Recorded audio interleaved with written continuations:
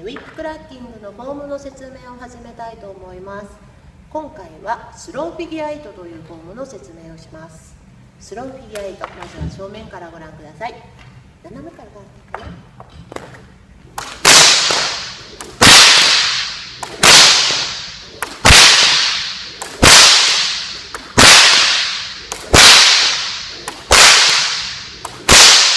スローフィギュア8はキャトルマンズクラップとリバースキャトルマン。この2つの合わせ技をスローフィギュア8と言います。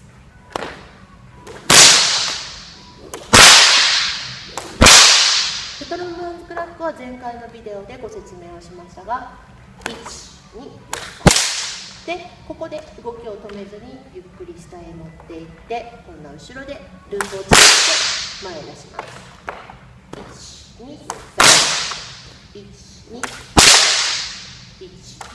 3 1 2強引に音を出そうとしなくていいのでまずは腕が振り子になっているような感覚のままゆっくり滑らかに腕を振ってください。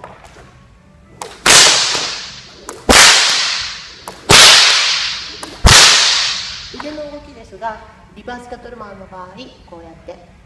手が最初手の甲が前を向いています。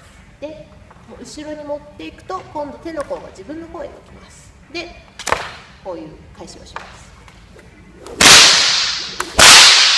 リバースキャトルマンだけありますね。もう一回。